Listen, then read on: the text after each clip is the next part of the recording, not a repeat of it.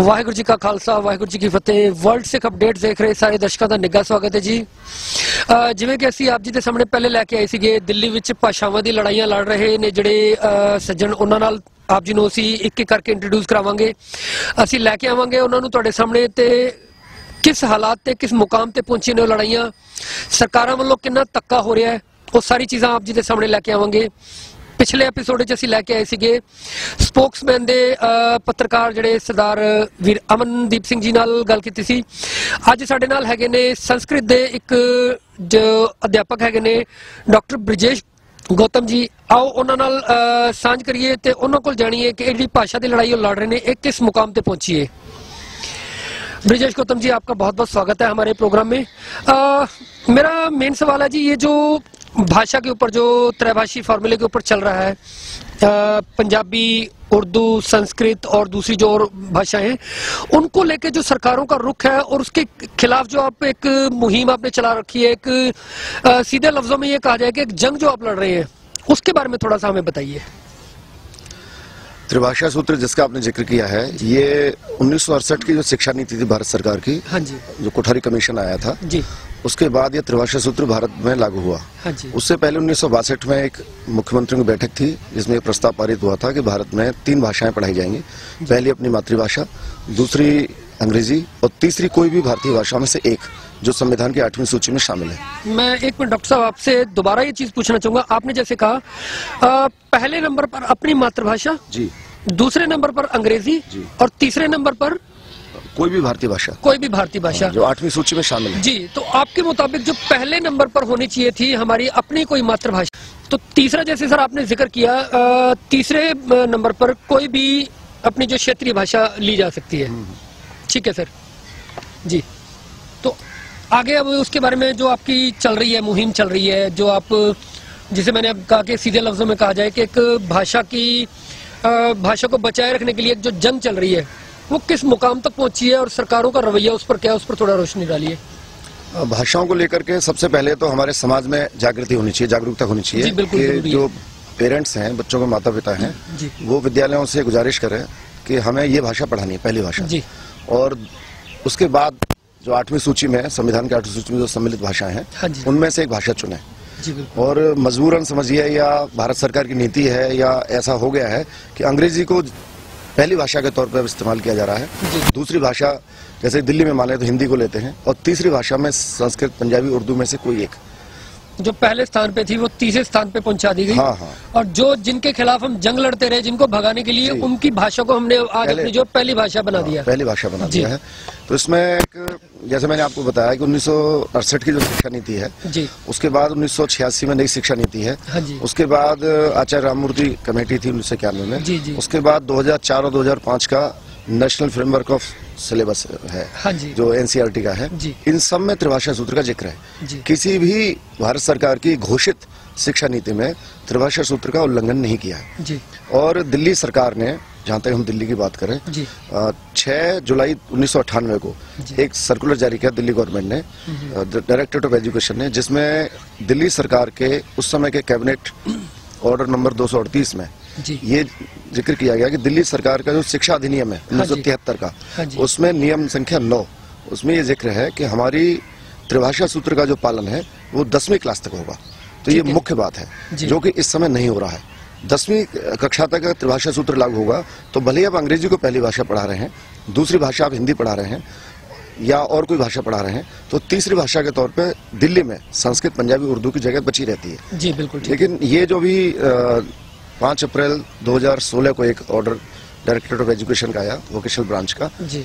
उसमें और उससे पहले सीबीएसई का भी एक नियम आया कि हम वोकेशनल एजुकेशन है व्यावसायिक शिक्षा है उसको इंट्रोड्यूस करेंगे।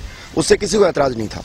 लेकिन ऐतराज की जो बात है आपत्ति है वो इस बात पर है कि आप जो व्यावसायिक शिक्षा देने जा रहे हैं जो भले बच्चों के हित में है या नहीं है वो अलग मसला है लेकिन वो भाषा के स्थान पर देने जा रहे हैं। वो भाषा की बलि देकर वो दूसरी उसको हाँ। तो भाषा के स्थान पर अ, आगे लाया गया। समाज को भी इसमें सोचना चाहिए क्योंकि सबसे जो इसमें जो मज़बूत पक्ष है वो हमारे विद्यार्थी हैं। तो अगर विद्यार्थियों को ये बात समझ में आए कि हम अपनी संस्कृति को परंपरा को भाषा के मार्फत बेहतर समझ सकते हैं चाहे वो धर्म की शिक्षा हो या अपनी जो परंपराएँ हमारी हैं लोक जो हमारी रीति है उसकी शिक्षा हो वो भाषा के मार्फत ही आती है। जी, जी, बिल्कुल, और बच्चों के अंदर जो संवेदना है वो भाषा के माध्यम से ही विकसित होती है। बिल्कुल जी भाषा ज़िंदा रहेगी तो सभ्यता हाँ, ज़िंदा रहेगी। और भाषा किसी भी संस्कृति को नष्ट करना हो तो उसकी भाषा पर सबसे पहले आघात होता है। बिल्कुल ये हमेशा हमारे देश का इतिहास है। कि जैसे फारसी पर कभी ऑफिशियल लैंग्वेज थी उर्दू ऑफिशियल लैंग्वेज थी और अभी हमारी जो भारत के संविधान में हिंदी को एक राजभाषा का दर्जा दिया गया और अंग्रेज़ी को पंद्रह साल के लिए उस समय संसद में पंद्रह साल के लिए उन्नीस सौ पैंसठ तक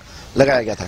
लेकिन वो पंद्रह साल अब तक खत्म नहीं हुए सत्तर साल बाद भी। वो पंद्रह साल अभी भी कायम है कि ये पंद्रह साल में हिंदी सीख लेंगे या दूसरी भाषाएँ लागू हो जाएँगी और दक्षिण और उत्तर का भी विरोध रहा।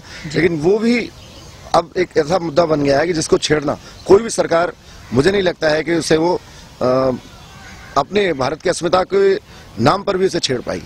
तो अब जो दिल्ली में जो समस्या आई है सीबीएसई के माध्यम से या दिल्ली सरकार के माध्यम से या शिक्षा निदेशालय के माध्यम से वो ये है कि जो कैबिनेट ऑर्डर 238 और दिल्ली शिक्षा अधिनियम उन्नीस सौ तिहत्तर का नियम 9 उसमें ये स्पष्ट लिखा हुआ है।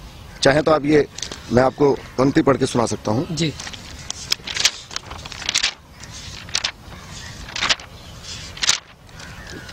ये लिखा है in pursuance of to rule number nine of Delhi school education act and rules 1973 government of NCT of Delhi has decided to implement three language formula Hindi English Sanskrit Urdu and any M modern Indian language at secondary stage in all government government aided unaided recognise schools in Delhi as per cabinet decision number 238 dated 25 April 97 issued vide order number F three बटा three bata 93 cn bata gad 2062 date, dated 30th april 97 which reads as under three language hindi english urdu sanskrit and nemil shall be taught up to 10th class. Further the students may give examination all the three languages but only marks of two languages would be considered at the 10th class board examination. इसी तरह से आगे भी इसमें है कि किस तरह से ये पढ़ाया जाएगा कि लैंग्वेज वन के लिए सात पीरियड होंगे जो। कि बाद में छह कर दिए गए। लैंग्वेज टू के लिए छह पीरियड होंगे जो कि छह कर दिए गए।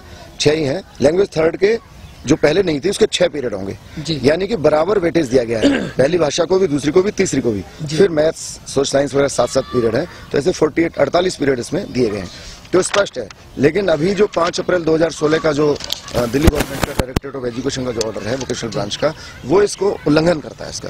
जिसके कारण बच्चों में भी और स्कूलों में भी वैसी प्रोशोपेश की स्थिति है। पहले 22 स्कूलों में लागू किया गया है ये उसके बाद धीरे धीरे की संख्या बढ़ाएगी और लगभग पौने तीन सौ पचहत्तर पौने चार सौ के आसपास विद्यालयों में ये नियम अभी तक लागू है। बाईस से दो सौ अट्ठाईस की और दो सौ अट्ठाईस से अब लगभग शायद 400 के आसपास। दो सौ पिछहत्तर के आसपास शायद कर दिया और बढ़ा दिया है उसे। और बढ़ा दिया बढ़ा दिया है उस पर संख्या तो पता लगेगी। और कुछ ऐसे कोर्सेज हैं जिनका की कोई उपयोगिता नहीं है। जी। जैसे की अब नाइन्थ में जो बच्चा जो आठवीं तक अभी जो आपने देखा होगा कि हमारा जो नो डिटेंशन पॉलिसी है यानी आठवीं तक किसी को फेल नहीं करना है। नाइन्थ में जब बच्चा आता है तो बहुत से बच्चे ढंग से भाषा में लिख भी नहीं पाते हैं। गणित की उनकी योग्यता नहीं होती है। विज्ञान को समझते नहीं है। सामाजिक विषय को भी वो बेहतर नहीं जानते हैं। उसके बाद उनको एक ऐसी वोकेशनल एजुकेशन के जो ट्रेड है वो दी जाती है जिसका कि आज तक दिल्ली गवर्नमेंट या कोई भी सरकार कोई नियमित अध्यापक नहीं भर्ती कर पाई है। कोई नियमित पाठ्यक्रम नहीं है। कोई प्रेस्क्राइब्ड बुक्स नहीं है। कोई किताबें नहीं है। डॉक्टर साहब अभी आपने ज़िक्र किया कि आठवीं तक अ, बच्चे को लगातार मतलब फेल नहीं कर सकते जी, वो। जी। वो चलता चला जाएगा। सो आपके कहने के मुताबिक कि बच्चे की नींव कमज़ोर होती है और नौवीं में जाके वो बिल्कुल जैसे कमज़ोर नींव की इमारत ढह जाती है वैसे वो अपनी पढ़ाई में बच्चे ढह जाते हैं। हाँ, इसका सीधा सबूत आप देखेंगे कि पिछले दो सालों से प्रयत्न चल रहा है। चुनौती नाम से पाठ्यक्रम चल रहा है दिल्ली गवर्नमेंट के विद्यालयों में। जिसमें कि जो फेल बच्चे हैं उनको लाखों की तादाद में जो नाइन्थ में फेल हो गए थे उनको डायरेक्ट पत्राचार विद्यालय शालीमार बाग के मार्फत दसवीं कराई जा रही है। और उसमें पास परसेंटेज बहुत कम है। जी। और उनको पहले विद्यालय में पढ़ाया गया अब उनको फॉर्म भराए जा रहे हैं और उसमें बड़ी मुश्किल से बच्चे जो है सफल हो पा रहे हैं। उसका कारण केवल मात्र है कि नो डिटेंशन पॉलिसी होती है जिसकी समीक्षा हो रही है। और इस नए इस साल से बोर्ड एग्जामिनेशन उनका होगा। तो ये भी है कि विद्यार्थियों को आप जहाँ हम आठवीं तक ऐसी योग्यता भी नहीं दे पाए हैं जो कि ढंग से लिख पढ़ सकें उसके बावजूद हम जो है वोकेशनल एजुकेशन को जो लगा रहे हैं वो भाषा के स्थान पर लगा रहे हैं। जबकि भाषा विद्यार्थी को दूसरे विषयों को समझने में सबसे बड़ी मददगार होती है। अगर अपनी भाषा हम जानते हैं हम दूसरा विषय जान सकते हैं। अंग्रेज़ी के साथ जो समस्या है कि बच्चा अंग्रेज़ी के मार्फत जो शिक्षा लेता है अंग्रेज़ी में ही अटक जाता है। विषय विषय तक- गहराई तक तो पहुँचता ही नहीं है जी बिल्कुल सरकारी स्कूलों में तो अंग्रेज़ी जाके छठी क्लास से स्टार्ट होती है हाँ। पांचवी तक तो बच्चा सिर्फ़ अपनी भाषा तक ही रहता है हाँ। तो वही चीज़ है कि छठी क्लास में जाके उसे अंग्रेज़ी लगी और अंग्रेज़ी का इतना बोझ डाल दिया गया बच्चा अपनी भाषा से तोड़ दिया गया हम्म। अंग्रेज़ी वो समझ नहीं पाया ना वो इधर का रहा ना उधर करा रहा हाँ बिल्कुल जबकि ये शिक्षा शास्त्रियों का साफ़ मत है कि अपनी भाषा के माध्यम से अगर हम कोई ज्ञान लेंगे जी, तो जी, हम बेहतर समझ सकते हैं। बिल्कुल सच्चाई बच्चा जो है अगर मान लीजिए कोई बच्चा पंजाब में पैदा हुआ हाँ है। तो पंजाबी में उसे सिखाया जाएगा बेहतर समझेगा। कोई उत्तर प्रदेश या बिहार में मध्य प्रदेश छत्तीसगढ़ में पैदा हुआ है तो हिंदी में जो वहाँ की जो जनपदीय भाषा है उसमें बेहतर समझ सकता हम्म, है ऐसी जो भी प्रांतीय भाषा है उनको समझ सकता है। उन प्रांतीय भाषाओं को हमें बल देना चाहिए उनको बढ़ाना चाहिए जो कि वास्तव में देखा जाए तो सारी भाषाएँ राष्ट्रभाषा है। जी। जो हमारे देश में भाषाएँ हैं जी, जी। सब अपने अपने राज्य की भाषा राष्ट्रभाषा ही है। उनमें हमें पढ़ाना चाहिए जबकि अंग्रेज़ी का एक जबरन बोझ डाल देगा तो दिल्ली नगर निगम भी या और संस्थाएँ जो विद्यालय हैं वो भी छोटी क्लासेस से ही अंग्रेज़ी को लगाने जा रहे हैं। बिल्कुल। तो डॉक्टर साहब ये जो मेन चीज़ है इसके मतलब मेन इसके पीछे जो है सब इसके पतन के कारण सरकारें हैं? सरकार भी है समाज भी है। सरकार तो नियम का पालन करती है जी, जी। लेकिन नियम को पालन करने के लिए बाध्य तो समाज करेगा जी जी जी अगर सरकार चुनी जाती है और चुनी जाती है लोगों के माध्यम से।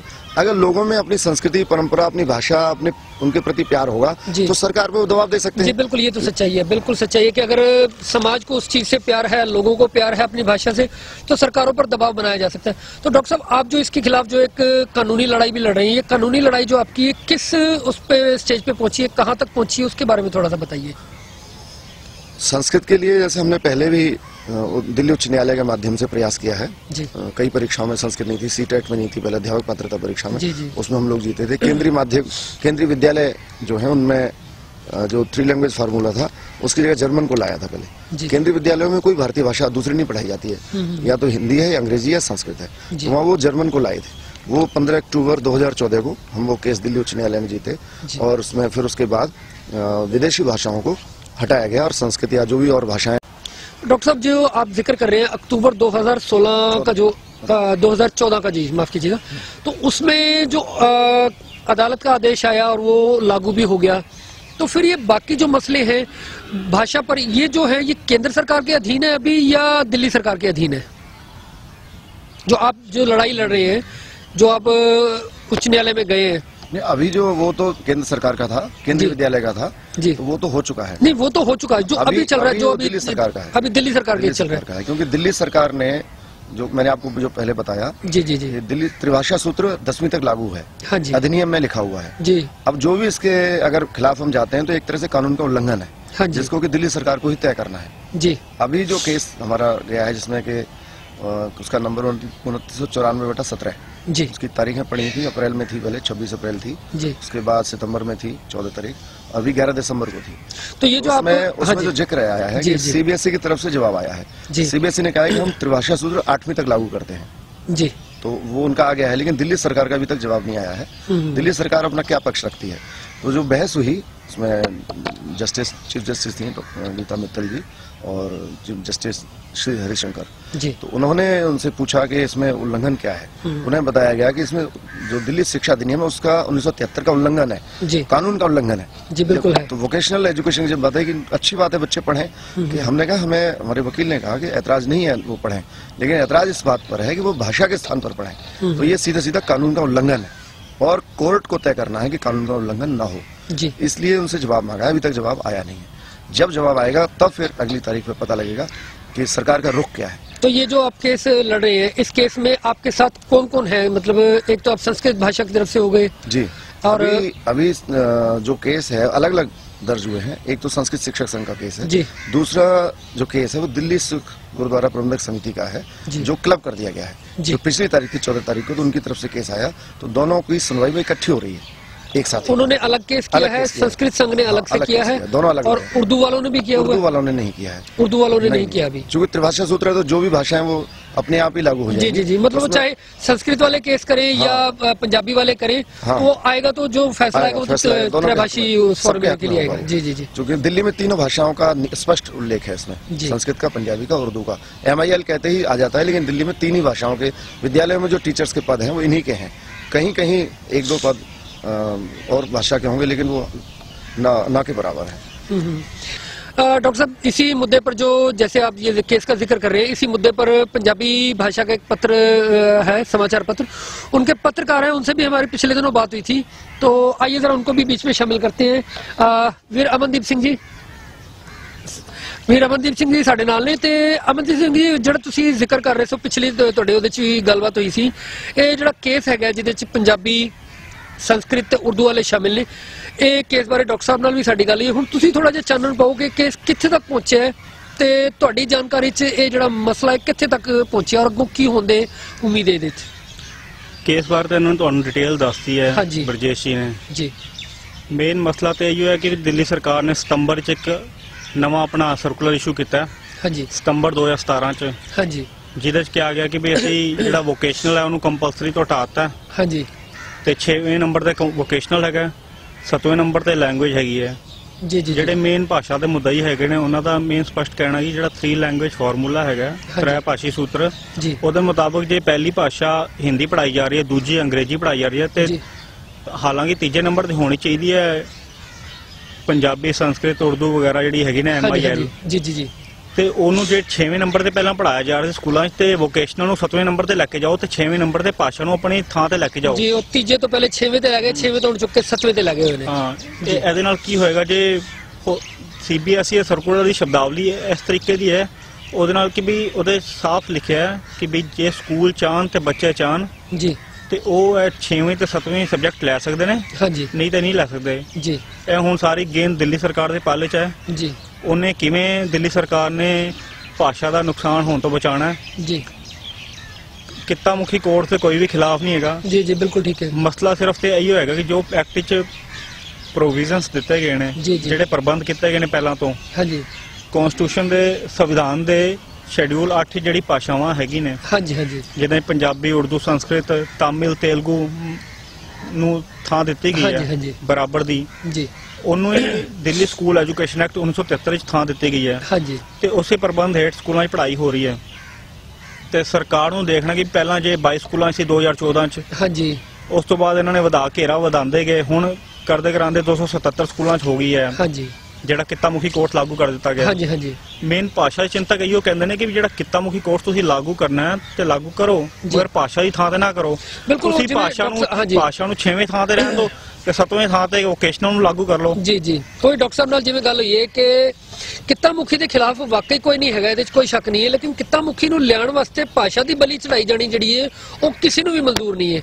ਨਾ ਉਹ ਜਿਹੜੇ ਭਾਸ਼ਾਵਿਦ ਹੈਗੇ ਨੇ, ਉਹਨਾਂ ਨੂੰ ਮਨਜ਼ੂਰ ਹੈ ਤੇ ਨਾ ਹੀ ਜਿਹੜੀ ਉਹ ਸਮਾਜ ਨੂੰ ਮਨਜ਼ੂਰ ਹੋਏਗੀ ਇਹ ਚੀਜ਼। ਇਹ ਚੀਜ਼ ਜਿਹੜੀ ਸਰਕਾਰਾਂ ਕਰ ਰਹੀਆਂ ਨੇ, ਇਸ ਦੇ ਜਿਹੜਾ ਖਿਲਾਫ ਇਹ ਚੀਜ਼ ਕੋਰਟ 'ਚ ਜਾਣਾ ਤੇ ਇੱਕ ਮਜਬੂਰਨ ਜਾਣਾ ਪਿਆ ਕੋਰਟ 'ਚ ਤੇ ਹੁਣ ਕੋਰਟ 'ਚ ਜਿਹੜਾ ਮਸਲਾ ਹੈ, ਉਹ ਹੁਣ ਉਹਦੀ ਅਗਲੀ ਤਰੀਕ ਕਦੋਂ ਹੈ ਤੇ ਕੀ ਲੱਗਦਾ ਉਹਦੇ ਤੇ ਕੀ ਔਰ ਕਦੋਂ ਤੱਕ ਕੋਈ ਫੈਸਲਾ ਆਉਣ ਦੀ ਉਮੀਦ ਲੱਗਦੀ ਹੈ। ਅਗਲੀ ਤਰੀਕ ਬਾਰੇ ਤੇ ਬ੍ਰਿਜੇਸ਼ ਹੀ ਤੁਹਾਨੂੰ ਦੱਸਣਗੇ। ਹਾਂਜੀ। ਅਪਡੇਟ ਜਿਹੜੀ ਹੈ। ਜੀ। ਮਗਰ ਸਾਰੀ ਗੱਲਾਂ ਇੱਥੇ ਆ ਕੇ ਖਤਮ ਹੋ ਜਾਂਦੀਆਂ ਨੇ।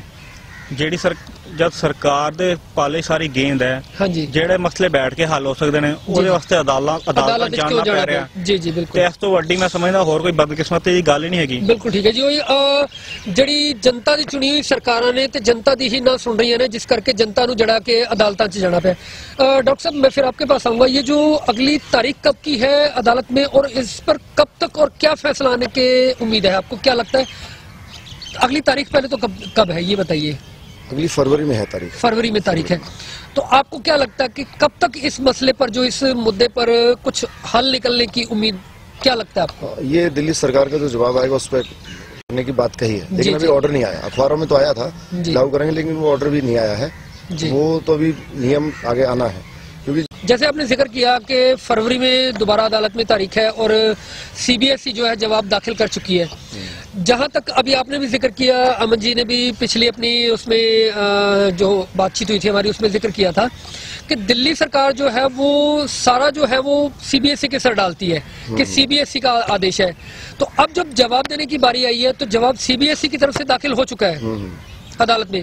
अब दिल्ली सरकार का ही जो फरवरी में या उससे पहले जो दाखिल होने की उम्मीद है तो क्या लगता है कि दिल्ली सरकार यहाँ, अब तो क्योंकि अब उनके पास सीबीएसई के सर डालने का कुछ रहा नहीं, क्योंकि पहले तो वो भांडा फोड़ते थे सीबीएसई के सर। तो सीबीएसई तो जवाब दे चुकी। तो अब जो है उनको जवाब देना पड़ेगा। तो अब उम्मीद है आपको लगता है कि बहुत जल्द इस पर कुछ जो अच्छे निर्णय आने की उम्मीद है? हाँ जो एक्ट के हिसाब से तो सरकार जवाब देने के लिए बाध्य है। जी बिल्कुल। क्योंकि एक्ट का तो अभी तक कोई संशोधन हुआ नहीं है। जी। और एक्ट का संशोधन होना कठिन भी है। जी बिल्कुल। जो उन्नीस सौ तिहत्तर का एक्ट है हाँ या उसे हाँ बदल देते। उसे तो बदला नहीं गया। कैबिनेट नोट को भी नहीं बदला गया। अभी तक कैबिनेट में जो ऑर्डर है दो सौ अड़तीस नंबर हाँ उसको भी अभी तक कैबिनेट में लाके नहीं बदला गया है। जबकि पिछले साल 20 मई को शिक्षा मंत्री के माध्यम से एक आया था ऑर्डर जो 5 अप्रैल 16 का था कैप्टन एवियांस का। 20 मई 2016 को। जबकि पंजाब से कुछ एक प्रतिनिधिमंडल के लोग मिले थे। हाँ जी। दिल्ली यूनिवर्सिटी के भी थे पंजाबी डिपार्टमेंट के वो लोग मिले थे। तो उन्होंने मुख्यमंत्री से और उप मुख्यमंत्री और शिक्षा मंत्री जो है उनसे मुलाकात की थी। उसके बाद 20 मई 2016 को तीन लाइन का एक उन्होंने एक पत्रक डाला था जिसमें लिखा था कि ये जो ऑर्डर है पाँच अप्रैल 16 का ये till further order kept in abeyance रोक दिया गया है। उसको फिर दोबारा उसको हटा दिया गया। बाद के जो ऑर्डर हैं, और तारीखों के हैं, उनमें हटा दिया गया। तो उससे ये लगता है कि सरकार जब समय पंजाब में चुनाव थे विधानसभा के। उसके मद्देनजर उन्होंने उसे रोका था, और फिर जैसे जैसे मौका वो आगे बढ़ता गया, उसे वो हटाते गए। और यहाँ पर फिर वही हालत है कि स्कूलों को दोबारा ऑर्डर दिए गए हैं कि उसे लगाएँ।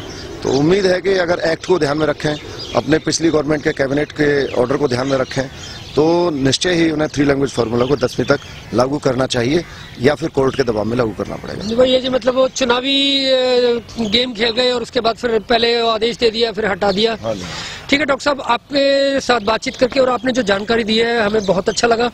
और इसी मुद्दे पर हम आपसे फिर एक बार दोबारा मुलाकात करेंगे। आपका और अमनदीप जी का धन्यवाद। धन्यवाद। जी ਅ, ਜਿਸ ਤਰ੍ਹਾਂ ਕਿ ਆਪ ਜੀ ਨੇ ਦੇਖਿਆ, ਅਸੀਂ ਗੱਲ ਕਰ ਰਹੇ ਸੀਗੇ ਡਾਕਟਰ ਬ੍ਰਿਜੇਸ਼ ਗੌਤਮ ਜੀ, ਜਿਹੜੇ ਕਿ ਸੰਸਕ੍ਰਿਤ ਦੇ ਸਰਕਾਰੀ ਸਕੂਲ ਵਿੱਚ ਅਧਿਆਪਕ ਹੈਗੇ ਨੇ ਤੇ ਨਾਲ ਦੂਸਰੇ ਹੈਗੇ ਸਨ, ਵੀਰ ਅਮਨਦੀਪ ਸਿੰਘ ਜੀ, ਜਿਹੜੇ ਕਿ ਇੱਕ ਪੰਜਾਬੀ ਪੱਤਰਕਾਰ ਹੈਗੇ ਨੇ, ਜਿਹੜਾ ਇਸ ਟਾਈਮ ਦਿੱਲੀ ਵਿੱਚ ਚੱਲ ਰਿਹਾ ਭਾਸ਼ਾਵਾਂ ਦੇ ਮੁੱਦੇ ਨੂੰ ਲੈ ਕੇ, ਜਿਹਦੇ ਵਿੱਚ ਸੰਸਕ੍ਰਿਤ, ਪੰਜਾਬੀ ਉਰਦੂ ਤੇ ਹੋਰ ਜਿਹੜੀ ਦੂਸਰੀ ਖੇਤਰੀ ਭਾਸ਼ਾ ਨਾਲ ਨਾਲ ਧੱਕਾ ਹੋ ਰਿਹਾ ਹੈ। ਤੇ ਕਿਤੇ ਨਾ ਕਿਤੇ ਇਹਦੇ ਵਿੱਚ ਇੱਕ ਆਮ ਆਦਮੀ ਪਾਰਟੀ ਸਰਕਾਰ ਦੀ ਕਿਤੇ ਨਾ ਕਿਤੇ ਨੀਅਤ ਜਿਹੜੀ ਹੈ ਉਹ ਉਹਦੇ ਵਿੱਚ ਖੋਟ ਨਜ਼ਰ ਆਉਂਦਾ ਹੈ। ਜਦੋਂ ਪੰਜਾਬ ਵਿੱਚ ਚੋਣਾਂ ਦਾ ਬਿਗਲ ਵੱਜਦਾ ਹੈ, ਉਦੋਂ ਤੇ ਪੰਜਾਬੀ ਭਾਸ਼ਾ ਬਾਰੇ ਬੜੀ ਵੱਡੀ ਵੱਡੀ ਗੱਲਾਂ ਹੋਣ ਲੱਗਦੀਆਂ ਨੇ। ਤੇ ਜਦੋਂ ਚੋਣਾਂ ਮੁੱਕ ਜਾਂਦੀਆਂ ਨੇ ਤੇ ਉਹ ਫਿਰ ਉੱਥੇ ਹੀ ਜਿਹਨੂੰ ਅਸੀਂ ਕਹਿ ਸਕਦੇ ਕਿ ਢਾਕ ਕੇ ਤੀਨ ਪਾਤ ਵਾਲੀ ਗੱਲ ਹੋ ਜਾਂਦੀ ਹੈ।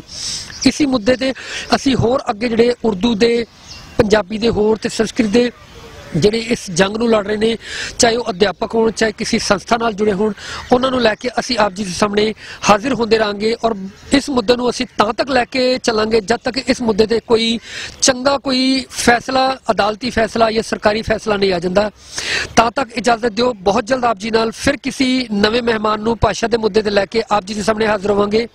ਵਰਲਡ ਸਿੱਖ ਅਪਡੇਟਸ ਵੱਲੋਂ ਇੰਨਾ ਹੀ। ਇਜਾਜ਼ਤ ਦਿਓ। ਵਾਹਿਗੁਰੂ ਜੀ ਕਾ ਖਾਲਸਾ, ਵਾਹਿਗੁਰੂ ਜੀ ਕੀ ਫਤਿਹ।